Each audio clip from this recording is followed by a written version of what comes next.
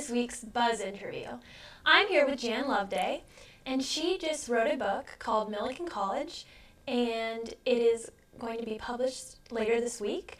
And I'm here to talk to her. Thank you for coming to the show. I'm glad to be here. Thank you. So, for those of us who don't know about the book, can you tell us a little bit more?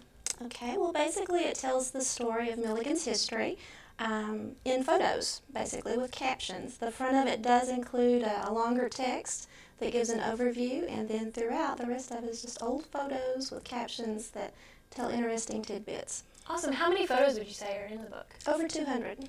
That is great. Um, when did you start writing the book, and how did you become inspired to write it? Uh, it was about this time last year, actually, when uh, Dr. Jeanes renounced, uh, announced his retirement um, I decided then it would be a great time to be able to celebrate Milligan's history and to honor him and all that he has done for the college. And um, it had been a while since anyone had written a, a, history for Milligan. And so, did you just finish it, or? Uh, it was finished in the spring. Okay. It took me uh, about six months to get everything together, and then of course there have been uh, revisions, editing, and all that since then. That's great. Um, did you find anything shocking or surprising when you were doing your research? Well, Milligan's history is very interesting. Uh, I can't say that anything was particularly shocking, but certainly some intriguing information.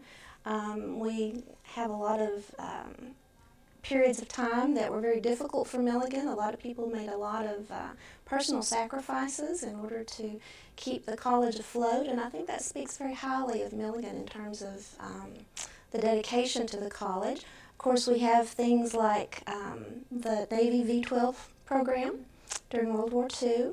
Uh, they trained officers. Um, we have some pretty interesting characters that came from Milligan. Um, we had a spy that a movie was made about, so there are several things in it that I think people will find interesting. Okay.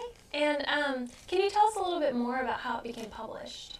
It's done through Arcadia Publishing. Uh, a lot of folks are probably familiar with the little brown books that you find everywhere.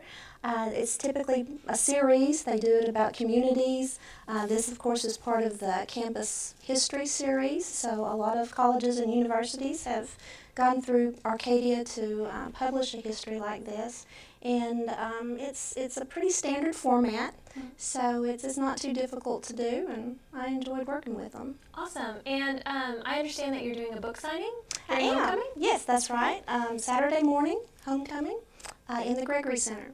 Okay, that sounds great. And um, what about the pro- the proceeds go to? Yes, and the proceeds will go to assist um, students in the early childhood education degree completion program. And um, lots of times they have tests that they have to take for licensing, and that's uh, sometimes a strain on those students who are coming back to school uh, at that time in their lives. And so, what I wanted to do is to be able to help, to be able to assist in that way. It's my way of giving back. Well, that is great. Thank you so much for coming today. Um, Jan's book will be available October 3rd at the Milligan Bookstore or online at Amazon.com. Thanks again for coming, and back to you guys.